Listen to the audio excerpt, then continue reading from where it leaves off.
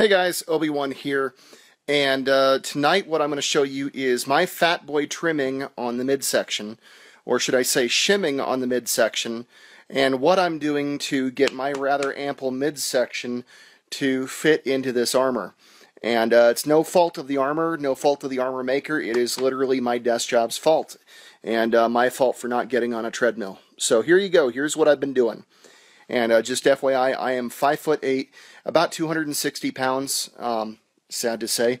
So here you go. Here's my solution, and as close as I'm getting to hopefully make it approvable. All right, this armor is upside down, uh, so it might look a little wonky. And we'd written a note here to say leave this on. That part is important, but this will get covered by the belt. So I'm going to probably trim some of that down, maybe this extra shim here that just popped off a little bit.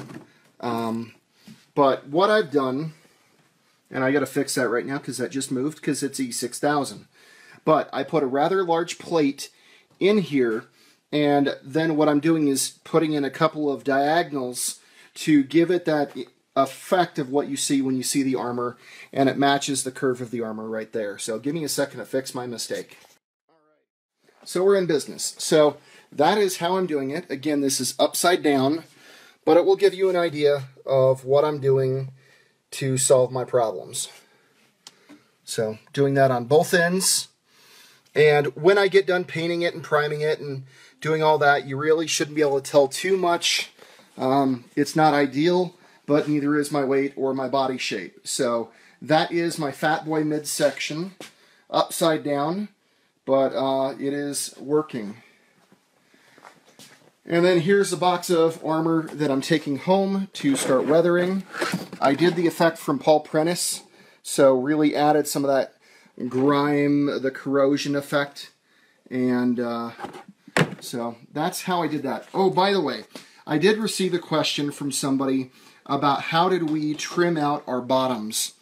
And what I did is I put half inch masking tape along the bottom here, match the curve exactly, and I cut off one half inch at a time, and then I tested it, and I walked up the stairs, and it was too small. Then I went and walked up, uh, cut off another half inch, and so that's how I got that. So that's how I trimmed the bottom. And you can see the Paul Prentice style corrosion. Tried to put that on the logical areas, the bottom, the tops, you know, just some of the areas, but I really tried not to overdo it. They're my beautiful bells.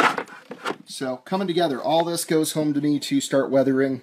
I'll do a movie marathon the next couple nights after work and get those, um, try to get those all painted and weathered up. So, on to the chest and the back. And this has really been kind of the bane of my existence. It's been really challenging because of my size.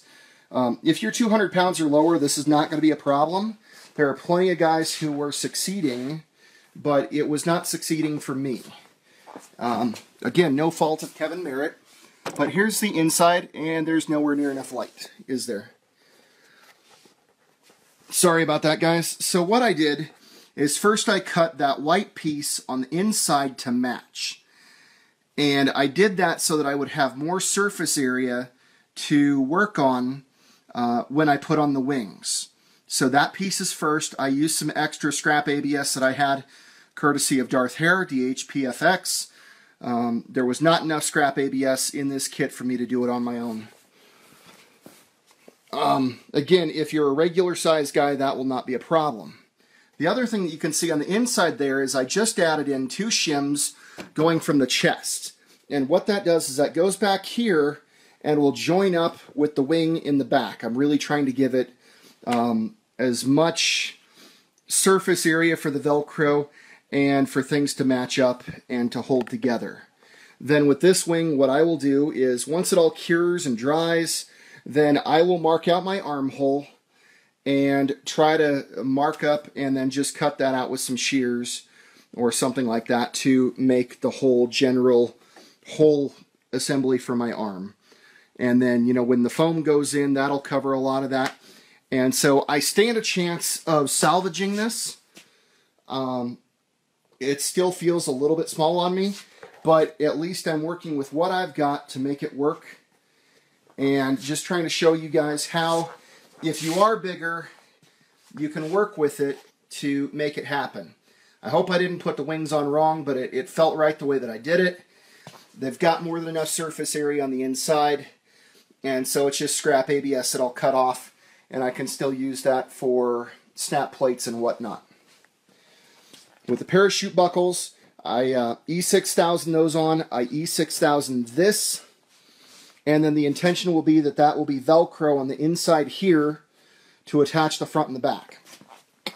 And then again, I will do Velcro along this seam right here to allow the chest and the back to connect. And there is my chest and back coming together.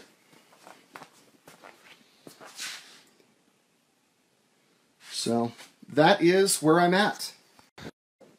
And uh, I'm really excited about salvaging this. I think I might be able to make it work. I'm hoping. Uh, but I'm trying to work with what I've got and with the time that I've got. And in the meantime, I start weathering tonight or tomorrow. So there you go, guys. If you have any more questions, please post up. I'll do my best to answer them and uh, keep on rocking and have fun storming the castle.